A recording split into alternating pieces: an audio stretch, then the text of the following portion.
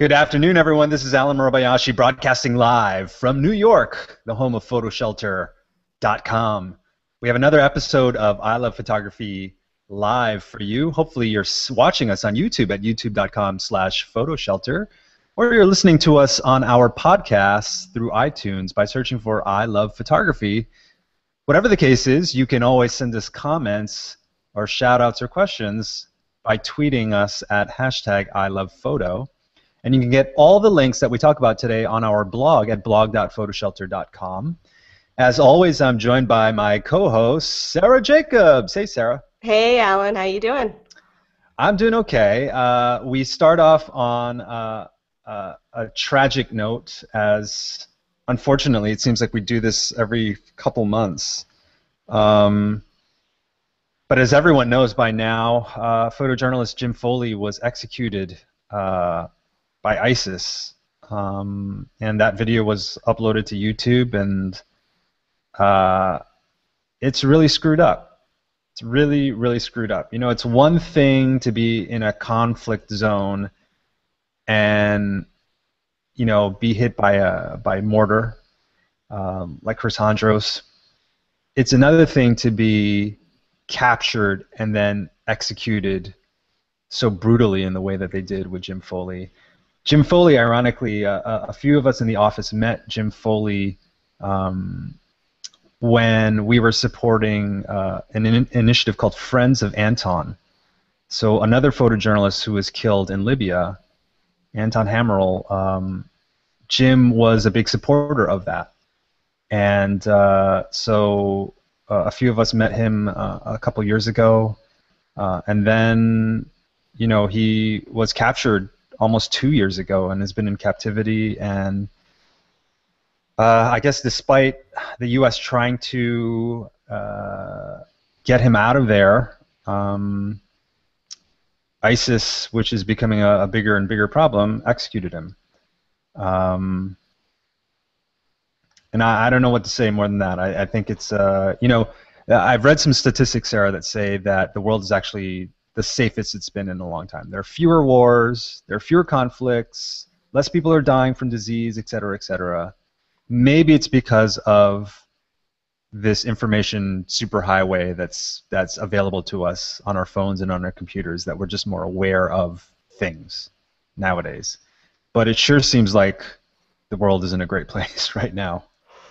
You know, with stuff like this. The um, James reported for the Global Post, and the Global Post currently has up the best of his reporting. Um, and there's one uh, story at the top where he it's a six minute video and he's re- he recounts being captured in Libya under Gaddafi's rule and the story is just riveting. I mean, one of his um, colleagues got killed right in front of him. This was in 2011, um, and just the bravery that this man had. I mean, he was used as an example, you know, being executed, and he, I mean, even after what had happened to him in Libya, he still wanted to go out there and and tell the people's story, and it's just like what a brave guy. yeah, I was listening to uh, NPR Fresh Air this morning, and they had a an interview with his boss from the Global Post, and they said after he was initially captured in Libya and released, he came back to the U.S. and his boss said, "Hey, why don't you just work? We'll make you a full-time employee. You can work as an editor." And they said he, he he did that job and he just wasn't happy and he was sort of itching to get back and do what he did best, do what he knew what to do, and that was uh, be a photojournalist. So tragic. Um, uh, but but I guess in, in some ways uh, you know, he, he was out there doing what he did, uh, doing what he wanted to do. It was interesting to see um, the reaction of both YouTube and Twitter. YouTube, of course, took down the video uh, immediately. Immediately in internet time isn't fast enough because obviously people can do screen grabs and download uh, things from YouTube. Uh, and then Dick Costolo, who is the CEO of Twitter, uh, tweeted out this, which said, uh, "We're actively uh, suspending accounts as we discover them related to this graphic imagery. And there was some concern raised over whether they should be doing this or not. Um, is Twitter a news outlet? Should they be allowing news to uh, be broadcast over their medium? Other people right, said censoring it. Uh, yeah, yeah, and other people said it's not a news organization; it's a conduit for information, and they are exercising an ethical viewpoint. And I understand the slippery slope of saying, okay, we're going to censor this, but we're not going to censor this. I think in this case, there's no, you know, a guy is beheaded. There's no value in showing that. There's literally no value in showing that. And yeah, he's forced forced to read a statement, you know, that's anti-American yeah. that he, you know that he didn't believe, and then beheaded. Like, there's no, you're right. There's no value in watching that. And and and people you know, there's always going to be a segment of people who are attracted to the gore. Um, but the fact of the matter is, once you see that, you can't unsee it. You can't unsee something so gruesome like that, and it's going to stick with you for a very, very long time. As a lot of people who have experienced horrendous trauma will will attest. This stuff is not good for your brain. It's just not good for your brain.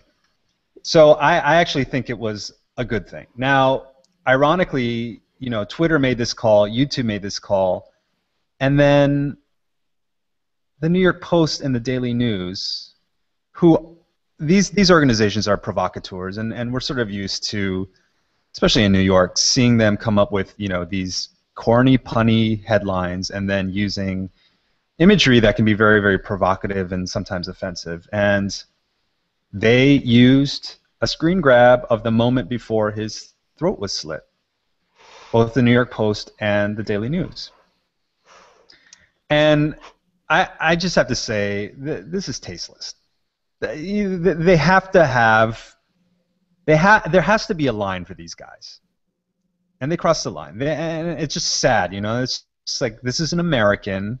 This was a journalist. You guys are a, ostensibly a journalistic newspaper. Sort of. And in order to sell papers, and I'm sure they came up with some BS justification. This is news, and we have to show the the you know the atrocities of war. You don't have to put that on the cover. No, I mean the New York Post. Ever since they ran that image of the man in the New York subway about to be run over, I just have completely lost yeah. any any drop of respect that was even there in the first place. Yeah. So yeah. So, to all of the, the colleagues of James Foley and obviously to his family and friends, our, our heartfelt condolences. Uh, a tragic, tragic moment. Um, yet another photojournalist killed in the line of duty. Um, things weren't so better. You know, we, we talked last week about Ferguson, and so much has transpired in, in the past week with more tear gassing and some rioting and protesting and cops pointing guns at people's faces. And arrests of journalists as and well. And arrests of journalists. Um, so I was in St. Louis uh, yesterday and I drove into Ferguson. Um, and uh, thankfully things had quieted down quite a bit. And other than a few businesses that had been boarded up. We know that uh, one of the, the liquor stores and mini marts um, had been ransacked, um, and a couple other businesses had been ransacked, so they were boarded up. Um, and other than that, and, and, and obviously some police presence, but not, not overwhelming police presence like it, it had been in, you know, earlier in the week or last week, it kind of looked just like a normal town. What what time of day were you out? I went out around 2 p.m. It was blazingly hot. It was the hottest day of the year so far for them. So it was it was kind of in the upper 90s, and uh, my, my my car was saying it was you know 100 degrees. Mm. Um, so it was really too hot for anything to be going on in the first place. So I think even if tensions were heightened, people would be like, you know what, we're going to go out at night. And at night it was still upper 80s. Mm-hmm. Um, but but it was strange to see uh, graffiti on a lot of things that said uh, "R.I.P. Mike Brown." Uh, it was interesting to see people hawking T-shirts that said "Don't shoot" uh, with the silhouette of a guy with his hands raised. And then later uh, la- uh, last night, we met up with a bunch of photographers, including David Carson, who we interviewed last week, who is one of the photographers at the Post Dispatch, who has just been. These guys have been killing it. These guys have been shooting, and and you know, I was talking to someone else, and and th- this has got to be nominated for a Pulitzer. The coverage that they've that this staff has been doing has been exemplary. Um, and you know, we looked at this photo last week, Robert Cohen's photo of of the guy throwing back the tear gas canister. And I was talking to uh, Drew Selman, who's a photographer out there, and he said only Robert Cohen would be able to get this shot where the guy's throwing back the canister in the American flag T-shirt, and then he mentioned something that I didn't see in the photo, holding a bag of chips and not dropping it. Look at his left hand. Oh my god. He's holding a bag of chips. Oh, a bag of chips. I've been wondering what that was. Yeah, It's a bag of chips. So anyway, if you haven't seen, you know, there've been a lot of compilations of material from Ferguson, and Time Lightbox did a really nice one. But um, the St. Louis Post Dispatch has been doing kind of a serialized feed of all of their photographers' works. Um, there are about four four photographers that are out there from their staff covering stuff And they've been there since the exact moment that since it the began. beginning. Yeah, which and is starting with this photo of Mike Brown's mom, which is like so touching. You know, you just see the pain in her face, and uh, you know, uh, we talk about humanizing, removing stereotypes and humanizing a problem. We've talked about that continuously as a as a as a goal of photography. And how can you not feel for this woman who's lost her son? You know, Yeah, it's a powerful image. So you're you're calling it now, Allen? You think one of these is going to be for up for Pulitzer? I, I think they they need to be nominated. I think they definitely will be nominated, and and and I would be surprised if they didn't win the Pulitzer. Yeah, This is as good as any other coverage that I've seen. absolutely, absolutely. Um, and it's it's the most uh, I I'd say well-rounded. Yeah, yeah, exactly. So you know the interesting thing talking to David too, because I I, I kind of wanted to get, I was hoping to get to Ferguson and get the word on the street and get the non-press view of Ferguson, but everything had dispersed thankfully. But talking to David and saying, hey, what, you know, what's the dealio here? And I said, uh, uh, who did the did the police fire the, the the tear gas first? And he goes, no somebody from the crowd shot at the police, and the and the snipers who were on top of the of that vehicle heard the bullets whiz past them, and then two seconds later the, they got the okay to launch the tear gas. And what he said to me, and I said, okay, and was the was the press targeted with tear gas? And he goes, uh, yeah. And then he said, but you have to understand that there was press, and there was sort of press. And he, he, phrased it in such a way as like, I, I don't want to be pejorative because I understand how the world works nowadays. It's not just the St. Louis Post Dispatch and the New York Times. There's a lot of other outlets that do news and there's Twitter and blah, blah, blah. But he said, you know, the traditional press understands sort of the rules of engagement. We know that, you know, when there's a conflict going on, the photographer shouldn't get in the sight line of the police because you're going to get shot. And he said there were journalists who are there taking photos, and there were activist journalists who, when the governor says something, they would they would cheer. And th- they're not showing neutrality in the way that if you went to school for journalism, you'd know you don't do that. You can't you can't show outward bias that way. Uh, and he said, yeah, there are cops who, you know, cops from these small towns who are obviously not the smartest guys and obviously have been let go for from one force and go to the next town of 5,000 and join that force because they don't do background checks. Uh, you know, as we mentioned with the Gaza Palest- uh, Gaza Israel conflict, there's misbehavior on all sides. Well, I think that's why so, so many people were surprised when Scott Olson from Getty Images was arrested this past week. Yeah. Because, you know, he is obviously very highly trained photojournalist, knows the rules, you know, and was still arrested.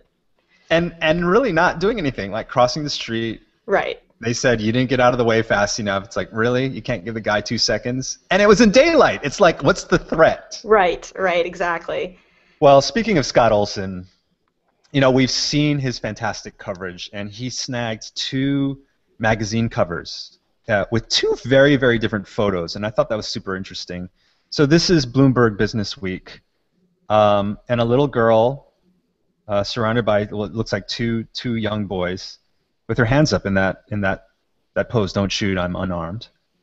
And, and with then, the baby bottle in front of yeah, her. Yeah, with the baby I mean, bottle. Yeah.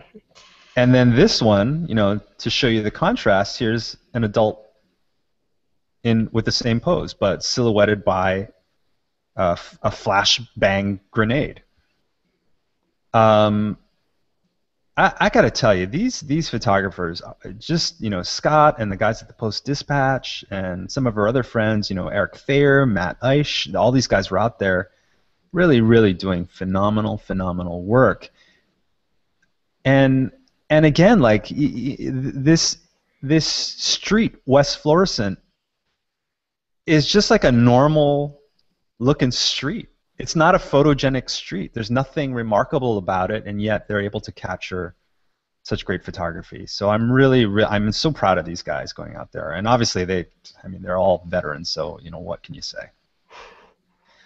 Um, speaking of photojournalists, uh, there is a video online. So Slate.com partnered with the Brooklyn Brewery. The founder of the Brooklyn Brewery was a former Associated Press for foreign correspondents. So they're doing these little panels over there at the Brooklyn Brewery. And they had Todd Heisler, um, Pulitzer Prize winning photographer who is with the New York Times now. Uh, and, and it's, a, it's an interesting panel discussion, and he says, you know, even though there are many instances of, of uh, mobile phone photography uh, being important for, for covering spot news, um, and he brings up the London tube bombing, and he said the you know the first images coming out of that were people's cell phones.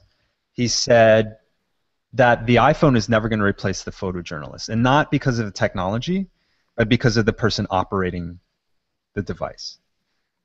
He makes the point that the the guy who's in the tube when the bomb goes off is there for that moment, and then they're out of there, and they're they're documenting that moment, but they're not trying to to tell a story. They're not trying to investigate. They're not trying to show multiple sides of the story. And I thought it was such a, in some ways, a very obvious statement, but in other ways, we're so enamored nowadays with the cell phone photography that it kind of reminded us that it's not the device, it's the person and the brains behind it and the intent behind the reporting. Yeah, that um, him just talking about the importance of that the documentation of the analysis of the aftermath. You know, that's what the photojournalist brings to the story. It's not yeah. just the actual event of what happened. And I think this is especially important given what happened this week with James Foley. I mean, he was out there telling the full stories, um, and you couldn't have done that with an iPhone. no, and no, you know, what civilian is going to say, I'm going to go into harm's way to try to tell a story? Exactly. There right. are people who do this for a living, and and and and so they should be celebrated and they should be compensated and and and you know newspapers and magazines should realize that this is a, a crucial function.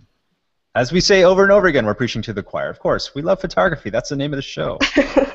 I love photography. Um, i saw this on cnn last night and bring it, it up. is uh, portraits so that, they have a problem in india and in, in a lot of places where where male dominated society and misogyny rules but india has a particular problem um, with acid attacks. They they they they for whatever reason uh, uh, they feel like throwing acid and disfiguring a woman is a, is justice. Now I mentioned misogyny being a part of it, but this first example was actually a woman throwing acid on another woman. So we shouldn't necessarily restrict it to that. But these are portraits. Um, it's called a fashion shoot featuring acid attack survivors. And these women uh, survived horrific, horrific injury. And, and then years later, they said, okay, well, we're down now. We're down to like be photographed. Yeah, it's pretty pretty incredible to get to that place in your life. They've been these women have been living in a safe house together, um, building friendships and you know being able to connect with people that have gone through what they're what they're going through. It's tragic. So what was what was your reaction to these photos? Um, I mean, it's interesting. I mean, the fact that they're fashion photos. One one of the women makes clothes. That made more sense after I found out that fact. Yeah.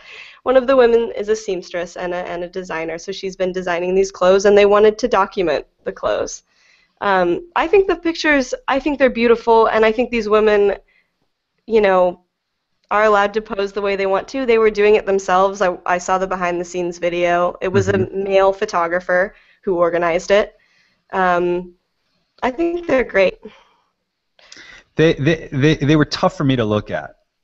Yeah. Because of the disfigurement. And I guess that's part of it.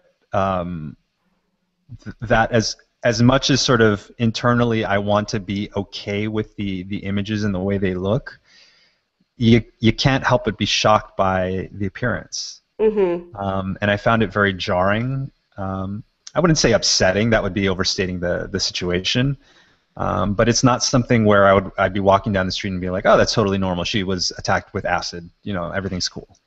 Well, I think the images that you're used to seeing of, of women like this and victims like this is is much more moody. You know, maybe it's a, a fine art black and white. You know, you see it as like, I don't know, it has more of a mood than these yeah. do. Yeah. And so that's what you're that's the imagery that we're used to seeing of victims like this. And and I think it's refreshing and and good and healthy for these women for it to be in a totally different light than that. So speaking of controversial images, I've, you know, I walk a lot, as you know, Sarah, and I've been walking up West Broadway, and I and I saw these huge uh, images in this gallery of like a naked little girl. And every time I walked by, I was like, "What the heck is that?" And I don't want to look. It's like really weird, man. It's really weird. And I thought to times where like my friends' kids would come out like naked. You know, they're like two, three, four, five, six, whatever and they'd come out naked and they'd be like, "Hey!" in the way that little kids do. Except it's it seems to be okay when it's like your kids, but when they're not your kids, you're like, "Oh." So then we come across this exhibit by a photographer named Wyatt Neumann, and Wyatt had posted uh, this image and a few others. He was traveling around with his daughter, two-year-old daughter Stella, on a cross-country road trip, and he posted this this image of the daughter and then all of a sudden, people got really bent out of shape. Uh, they said, This is disgusting. This is child pornography. And he said, This is crazy. No, it's not. And he came up with a project called, what's it called again? uh, I feel has, sorry for your children. All caps. Yeah. I feel sorry for your children.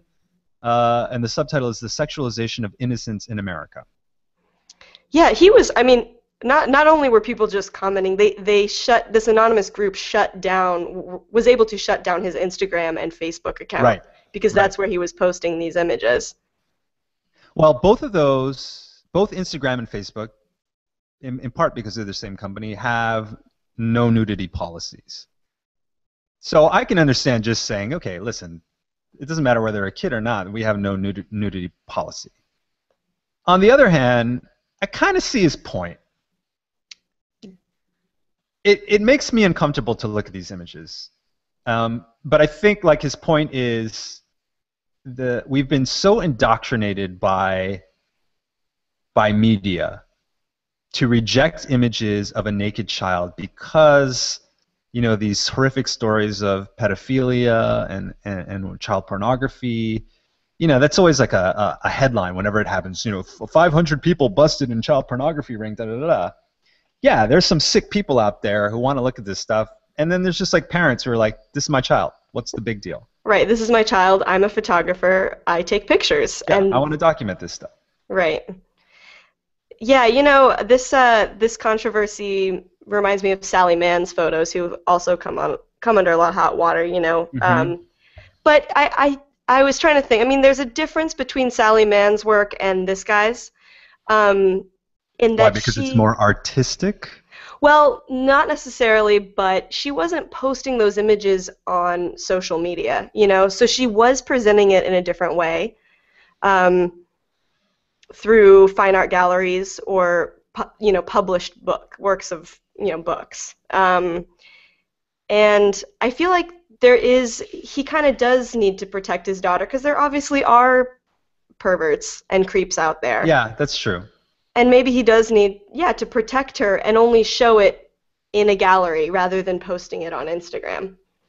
So. Uh, I, I guess that that brings up kind of a slippery slope of like what photos a photographer should be quote allowed to put on social media. Yeah you know, what if I have a teenage daughter in a bikini? Should that be, if I take a photo of her that's artistic, should that only be shown in a gallery because there are sickos out there? Right. Yeah, that is a slippery slope. Yeah, I mean, it's, but I know, I, I, totally know what you mean because there's a, there's a, there's, you know, there's a long history of photographers posting sort of lascivious images. You, you mentioned Sally Mann, Jock Sturges always comes to mind um, because he shot prepubescent kids large format 8 by 10 they're beautiful images but again he didn't you know these these people didn't grow up in the age of social media. Um, and they were trying to sell their images for thousands and thousands of dollars. So of course they're not going to put it on social media because it's going to get ripped off et cetera et cetera but right. Well yeah. i do think the public's reaction to this which was very overwhelming uh, kind of shows america's our puritan roots and our Definitely. obsessed of sex obsessed culture like yeah. very very over the top. So yeah what he's doing for the gallery showing is posting their their comments next to the images of his daughter. Which i think is yeah it's more social commentary than anything else. You know it does make me think like here's a lovely photo of his daughter. Um, and there were some there were some you know lovely photos of her you know pulling up her dress which is like what little girls do and little boys do. So then you have to ask the question like do we really need to have like the full frontal nudity of the child on social media? I, I mean, I'm always one to like fight the power and you know artistic freedom. Yeah, I think he could use a little more discretion. Right. I think posting to social media, yeah, maybe using more discretion. But with the show, it's different. It's a, it's in a different setting. Yeah. Speaking of outlaws, you found this one. and I started following this guy. Yeah, this guy's great. Well, you know, Allen, you posted uh, on the PhotoShelter blog last week about, you know, do good stories trump good photographs? Yes. You know, like does the story have to be better? And I think this is a great example of the story and the images being both fantastic. So this is a 17-year-old photog- photographer, Humza Deas, um, who's been exploring New York City at night, and he goes and climbs on top of everything. It looks like buildings, bridges, billboards, all types of stuff, and then takes these like incredible night shots and posts them on Instagram. I mean, he's basically, I mean, he's combining photography with like urban exploration and it's just to get the shot. And the article compares him and you know the kids that are doing this to really to graffiti artists because it really is about making the shot and making the art and not I mean it's it's about the exploration as well but it's about getting the likes you know? It's like how high can I go up and how many likes can I get for it? I've been following him on Instagram, and he's obviously like just blown up because of this article, and he continues to pull. Like I don't know how he has so many incredible images. This one that we're looking at is shot actually right next to my house. Um, it's like a block away from my house. Uh, oh, so awesome. he's obviously, you know, he's using a long shutter. He's obviously not using an iPhone to get these. Um, he's doing a little bit of post processing because I think he's he's you know pulling down the highlights a little bit so that that they're not totally blown out. The the guy knows what he's doing. Yeah. Both in terms of photography, post production, climbing, climbing, storytelling, being Spider Man. Yeah, no, it's cool. You know, it makes me it makes me a little jealous. You know, I wish I, well, I wish I was 17 again and didn't didn't care about like potentially falling and all that kind of stuff that old people have to worry about. I know these guys are not afraid of heights. Definitely worth following this guy, Humza Diaz or Diaz or something like that. Um, we like to talk about not just photography as an entity unto itself, but the the way that it's used in culture, etc. And I came across this on The Verge. So the Los Angeles uh, uh, Museum, uh, County Museum of Art, which is a fantastic museum. Uh, if if you've never been there, you should definitely check it out. Um, but somebody took over the Snapchat account now we know a lot of brands have embraced Instagram, but I haven't seen a whole lot of brands actually embrace Snapchat. Yeah, and do it this uh, smart. yeah, they're being a bit subversive in the way that they do it. Um, and so they're putting, you know, Snapchat is all about taking a photo and then putting kind of snarky comments on it or drawing on it and whatnot. So here's one in the upper left here, uh, and the and the caption is all the single ladies because it looks like the Beyonce dance from the video, and like a you know this classical painting. It says you can't sit with us, um, and this art piece that says Soldier Boy or Nah. So they're very contemporary references. So you kind of got to be down to get it, but that's that's sort of fitting with the demographic of of uh, of Snapchat. Yeah, absolutely. It's a bunch of 13 year olds using Snapchat. This Yeah. is yeah, this is super great. I, I wonder if this was like LACMA's intern that came up with this. Maybe yeah, their 13-year-old intern who came up with it. yeah, exactly. Um, I love it because you know, Sarah, we always say when we talk about social media, every social media platform has a different personality and a different constituency that uses that. And you can't have a monolithic approach to your communications in that way. So the, your personality on your blog shouldn't necessarily be the same as it is on Instagram or Snapchat. Reach different audiences by having a different uh, personality. Yeah. But this is fantastic. And and the uh, their watermark, the LACMA watermark, is not offensive to me in these situations. No, it's very tasteful. Very tasteful. Very tasteful.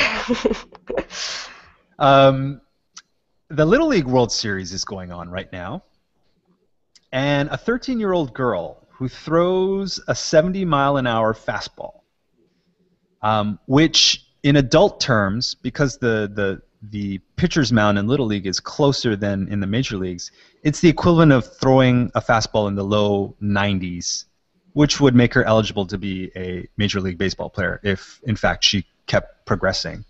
Uh, the girl's name is Mo'Ne Davis. They were her team, unfortunately, was eliminated last night. Um, but she threw the first no hitter. She's the first girl to throw a no hitter in Little League World Series history, and she is the first Little Leaguer to be on the cover of Sports Illustrated um, with this great pitching image by Al Tielmans, who's a friend of ours. Um, just uh, really cool to see. I know she's a she's a badass. She's kind of so. I, I saw a statistic that said she's basically the reason why people are watching Little League this year. The ratings are up 143 percent because of Mo'Ne, which is That's you know awesome. go for it. And you know there was concern. People were like, well, you know, Sports Illustrated. Uh, their whole thing is we hope to see her again on the cover. Um, and people were like, oh, that's very nice of you to say, but obviously that's not going to happen again. Turns out her coach says she's a better basketball player than she is a baseball player. Yeah, I was reading that she wants to do basketball instead of baseball. She wants to go to UConn, which has been the national champs for years and years and years, um, and be a point guard. So go for it, Mo'Ne. Go for it. Congratulations on your cover. Sarah, we've been talking about HONY for a long time. Oof, yes we have. And we even talked about it last week because HONY was over in Iraq. Humans of New York, Brandon Stanton. And College Humor, which is one of the many humor sites and a snarkier one out there, um, put this together. It's called Assholes of New York. And because I said that, now I'm going to have to rate this PG 13 when I post it to iTunes. Um, it really has nothing to do with photography, but I, you know, because we talked about uh, the power of HONY's storytelling, and that's what makes it so compelling. You know, the way that he extracts these one or two liners out of people and edits them down and makes them very profound. And I came across this um, assholes of New York, and so uh, what they did, College Humor took actual HONY photos and then created captions for them. That are Um, just yeah. hilarious. So this first one is this guy in a Yankees cap. You know, it's so typical, but you know, guy in a hoodie and a Yankees cap, uh, in, in in a bar or riding a subway or whatever. So the question is, have you ever been in love? Uh, I'm sorry, have you ever been in love? Hey, do me a favor and shut the fuck up. it's just perfect. Classic New York. yeah. Like way more New York than than HONY. Yeah, they're all just, hey man, leave me alone. What what's your problem? Get out of my way. I imagine that when HONY started, he had a lot of these. You're probably why, right. why are you taking my picture? Right. Get out of my face. These are definitely worth reading. Yeah. And had I had more time, I would have looked up the original quotes because I think juxtaposed that that would be even better. yeah, definitely. Um, yeah, uh, the last one is very fun. We have to show the last one because the last one is you know Fashion Kid. Um, here's Fashion Kid, Uh, and the quote says, "My dad could buy your whole family," which is probably true. definitely true. Oh, good times. Uh, I downloaded this app today. Oh, you did? Actually, I downloaded it last night. This is called the Google I uh, Photosphere. Now, back in the day, uh, Apple had a similar technology called QuickTime VR. And QuickTime VR allowed you to make kind of a 360 view of the world um, and a little bit of tilt up and down. But Google actually allows you to make an entire sphere of your world. And the way it works is you take a photo and there's a little orange dot, and you just have to align your photo with the orange dot, and then you then it takes the photo automatically for you, and then it just stitches together this sphere of your world. Who wants And- a panoramic view anymore? That just went out the window with this app. Yeah, you know it's kind of you know uh, uh, the, the the issue is that you know to view it you have to use your device and you kind of spin around and and you can upload these to Google Maps and their hope is to to get these sphere views of the world, which I think is really cool. I did it at the airport this morning. Um, indoors, it doesn't work as well because things are too close to you and, and people are moving. It works really well on like scenic landscapes and whatnot. God. Oh, I'm Um, sure. Yeah, and I'm sure realtors will want to be. Oh, realtors, they would love this, yeah. yeah. So there's, there's utility for this stuff. You know, I was looking at the sphere view and then I was comparing it to real life, and, you know, real life is better. But if you can't be there, sphere view is not bad.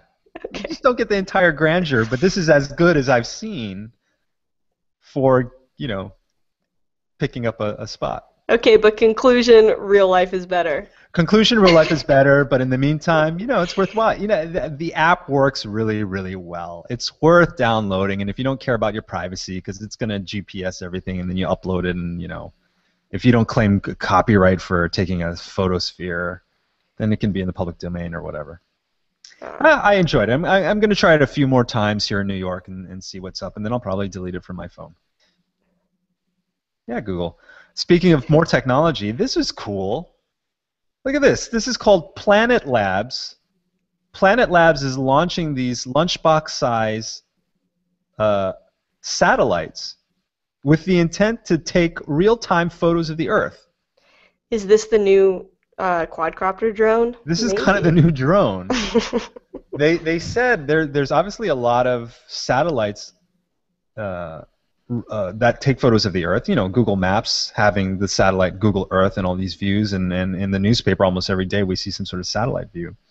But those satellites are only taking photos of the Earth kind of like on a monthly basis. So the photos are only being updated on a monthly basis.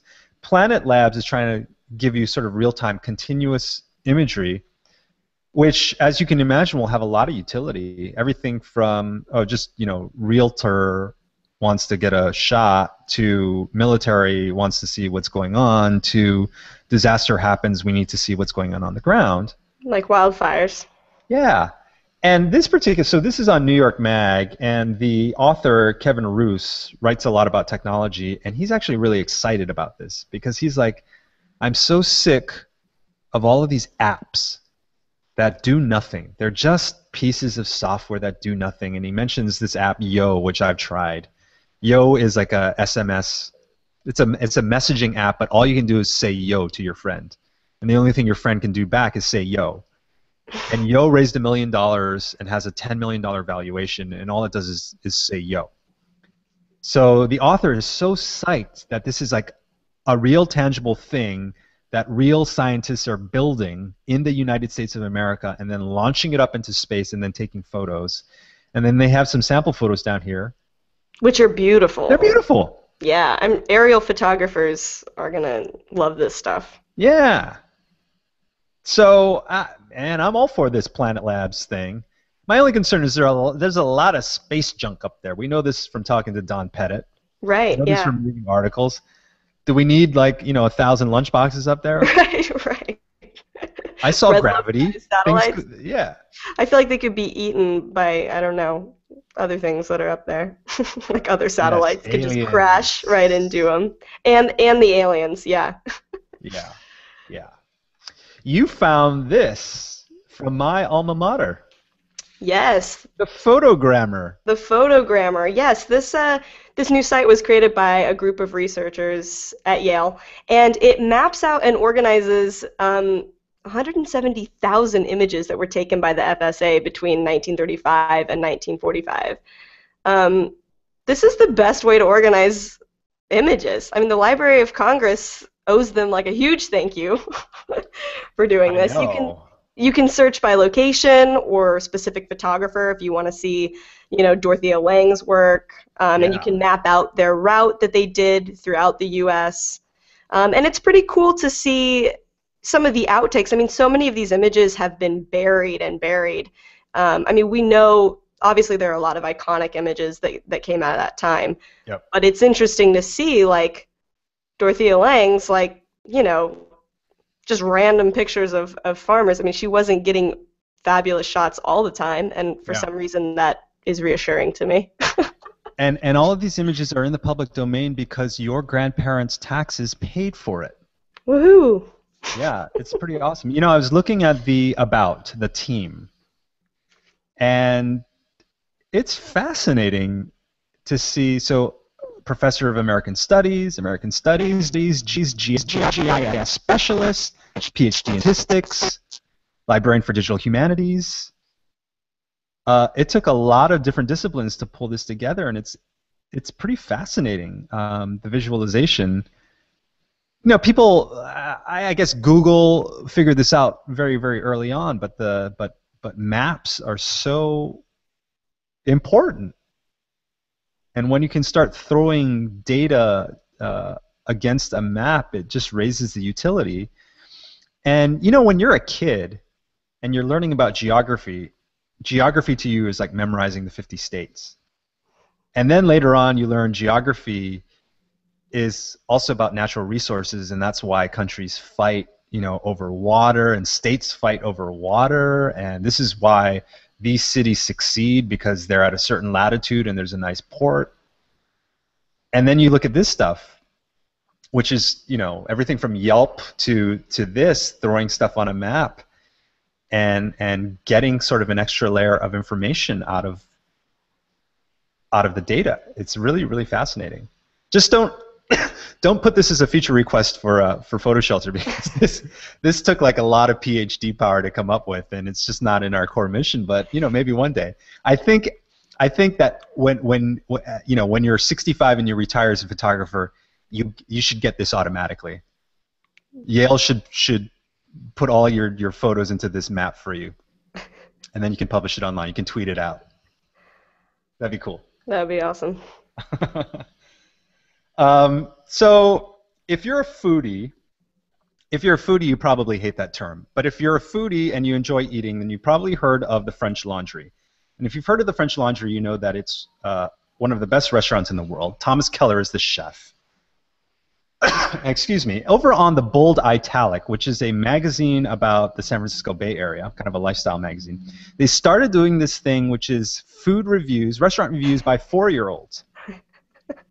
And this particular one is this very cute girl uh, named, uh, I forget what her name is, uh, Lila Hogan. And they took her to French Laundry. So let me explain to you French Laundry. Uh, I, I just ate there a few months ago. French Laundry, uh, it's it's like a 20 course meal. It takes like three to four hours to eat. Um, it is fantastic, but it's also kind of hot cuisine, if you will. Like the food is delicious, but it's not a hamburger. Hmm. So they We're talking small portions. yeah, and, and Mhm. we're talking like you know, with with wine, we're talking anywhere from four hundred dollars and up. And they took a four-year-old. Oh wow. and the reservation takes, you know, if if you can get one, it takes six to eight weeks to get the reservation. So they took a four-year-old. Now, what does this have to do with photography? Well, the, first of all, the the girl is so cute, and the review is just very funny. The way that they they they uh, quote her. But I thought that the photography was actually great, and I like the way that the photography was used to show her reaction. Yeah, it's the entire review, and, and, and you know, four-year-olds they're gonna wear their feelings right on their face. Yeah. So it's perfect. and of course, it, it's helped by the caption. I like the white part better than the green part, but even if you didn't have that, you can sort of tell what's up. And Sarah, when we talk about photography as a mode of communication, you know, in the same way that like emojis are like communication, you know, people have started. There's a there's a uh, uh, emoji version of Moby Dick. Um, and similarly, like visuals can be used to, to tell a story and be used in communication. And I just thought that was such a wonderful, wonderful, you know, like she's like, what is this? so uh, it, the the photography I can see is a little challenging because there's mixed temperature. There's they're next to a window, but there's clearly an incandescent light that's shining on them. Um, but it's fantastic. She passed on the caviar. It looks really not good, Yeah. she says. It's great. So this has been kind of being passed around in, in the foodie the foodie world right now, but it's such a great concept. yeah, And- I, I had not heard of the French laundry. yeah. I'm not Now a you foodie. know. Yeah, now I know. Now you know. We end this week with a wonderful, wonderful set of photos. You found this, and I was going through these, and they're just great. I mean, it's it's it's sort of bittersweet because summer is technically coming to an end, and so I think that that in the dog days of summer, we look at this stuff and we get a little wistful.